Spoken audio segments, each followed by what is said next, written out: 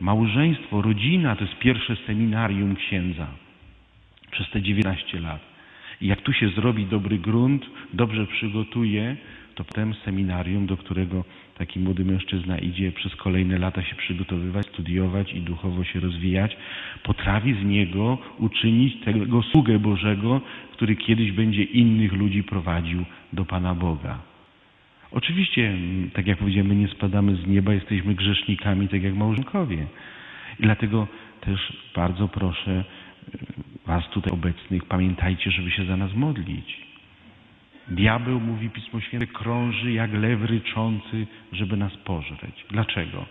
No bo jeśli któryś ksiądz zgrzeszy, no to zgorszenie jest jeszcze większe, prawda? Jak to się ujawni się ten jego grzech publicznie, o, to wtedy ma woda młyn dla wielu.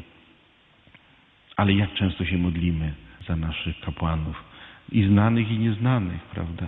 Czy modlimy się, żeby mieli siłę i odwagę? Nie tylko, że oni sami to muszą robić, ale czy my ich otaczamy tą opieką, troską, czy żeby potrafili oprzeć się temu krążącemu i chcącemu ich pożreć szatanowi. To jak na polu bitwy. Snajper nie strzela do szeregowców, bo po to, po co? On strzela do oficera, do tego, który ich prowadzi, który jest przed nimi. To diabeł też przede wszystkim chce, atakuje tych, których Pan Bóg posłał, aby przewodniczyli, prowadzili to stado, dusz pasterze mówimy. Porównuje przecież Ewangelia, e, Kościół do owczarni, prawda? Jest przewodnik tej owczarni. Tym przewodnikiem jest każdy, którego Pan Jezus powołał, ustanowił przez sakrament kapłaństwa swoim sługą, aby rozdzielał chleb Słowa Bożego i pokarm sakramentów, przede wszystkim Eucharystii innym ludziom, by właśnie mieli siłę, mieli siłę do tego, żeby iść za Panem Bogiem. Potrafimy, potrafimy być bardzo krytyczni wobec y, kapłaństwa, wobec kapłanów stojących przy ołtarzu, czy żyjących w taki czy inny sposób, ale zawsze pamiętajmy, nie spadli z nieba. Kapłani są tacy, jak i rodziny, jacy my jesteśmy, tacy sami. Jeśli krytykujemy ich, to znaczy, że widocznie nasze życie rodzinne, małżeńskie jest słabe. Bo oni się wyszli z tych rodzin, z tych domów. Oczywiście ta krytyka jest niesłuszna, niesprawiedliwa, bo obok słabych i grzesznych kapłanów, których grzechy możemy zobaczyć, są i tacy, którzy dążą do świętości, świątobliwi, starają się żyć jak najpiękniej potrafią, trudzą się dla Pana Boga i dla bliźnich, dając całe swoje życie jakby na ołtarzu Panu Bogu, służąc Mu gorliwie do końca życia i starajmy się też to widzieć. Nie pozwalajmy sobie zasłaniać oczu. Że są tacy, za to Bogu dziękować i przede wszystkim módlmy się za nich wszystkich. Zresztą siostry i bracia też pamiętajcie, o tym trzeba też powiedzieć, e, tych powołań jest coraz mniej. Nie dlatego, że Bóg ich nie daje, już to słyszycie, że nawet w telewizji o tym mówią, prawda, czy w radiu, że y, w Polsce od kilku lat drastycznie, można powiedzieć, spada ilość młodych mężczyzn przychodzących do seminarium. Ktoś powie, czy Bóg nie daje powołania. Bóg daje powołanie, tylko świat je zagłusza. To tak jak w tej przypowieści o tym ziarnie. Chwast tego świata zagłusza. I to powołania nie potrafią wzrosnąć. Ci młodzi ludzie nie mają odwagi pójść za wezwaniem Pana Jezusa. Tak ich kusi ten świat, w którym żyją. Pochłonie ich i w ten sposób zniszczy ich powołanie, że oni tego, tym powołaniem Bożym nigdy nie pójdą. Bo sobie zdają często z tego sprawę, że nie jest to łatwa droga. To tylko pozornie ludzie sobie myślą, że życie księdza to jest taka łatwizna.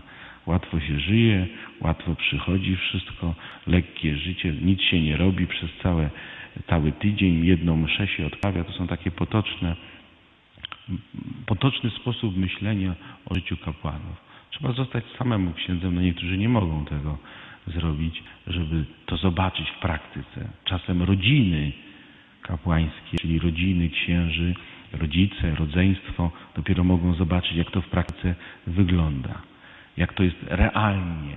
I czasami sobie mówią, o nie zamieniłbym się z Tobą.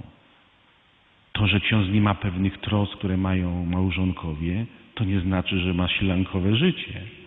Ksiądz ma inne troski, inne obowiązki i wcale nie musi latać i afiszować się z nimi przed ludźmi.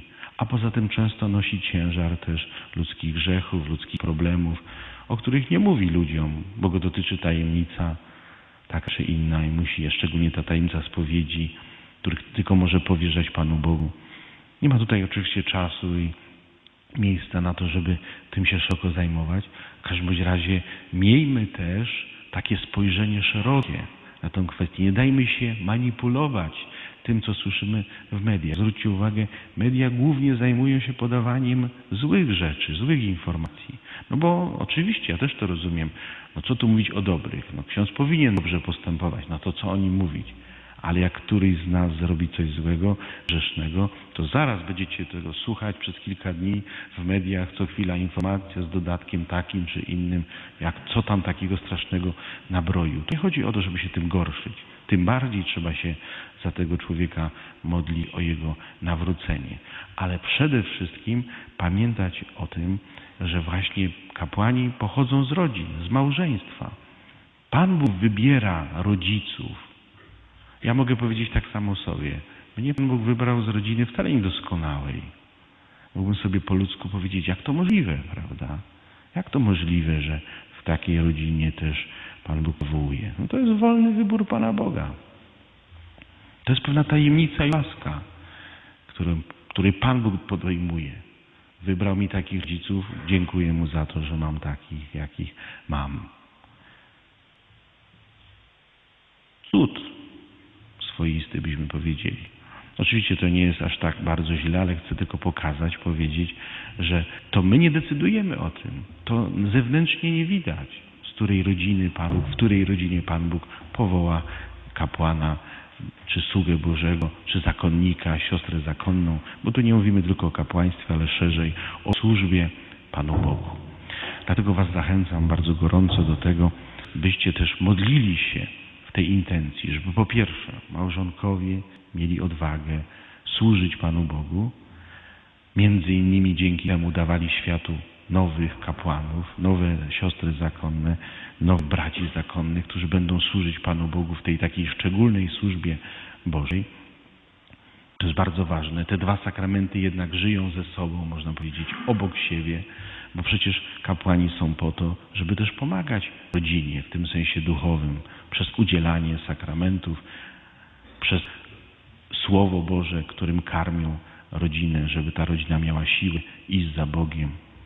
Moglibyśmy tutaj, powtarzam, długo na ten temat mówić, ale ten chód, który, który w tym w tych czasie tych naszego odnowienia misji jest dla nas taką próbą pewną, powoduje, że nie będę tego dalej przyciągał. W każdym razie zachęcam Was wszystkich. Pomyślcie dzisiaj o swoim małżeństwie, o swoich rodzinach, o swoich bliskich, o małżonkach, których znacie, o tych szczególnie, którzy żyją w jakimś kryzysie. Powierzajcie ich Panu Bogu. Młodym mówcie o tym, jak powinni budować swoje małżeństwo, żeby potem byli nierozczarowani tym, co się będzie działo.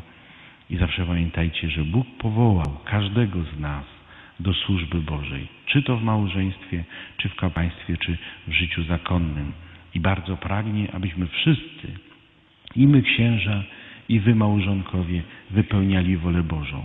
Bo na tym zawsze polega życie chrześcijańskie, na wypełnianiu woli Bożej.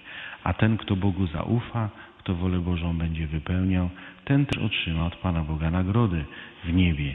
Przecież o to chodzi, byśmy tak jak wszyscy święci, również święci małżonkowie, którzy są w niebie, mogli kiedyś tam w niebie cieszyć się szczęściem, którego tu na ziemi prawdopodobnie nigdy nie zaznamy. Niech Bóg nam pomoże tak żyć, byśmy godnie wypełniając nasze życiowe powołanie osiągnęli radość życia wiecznego. Amen.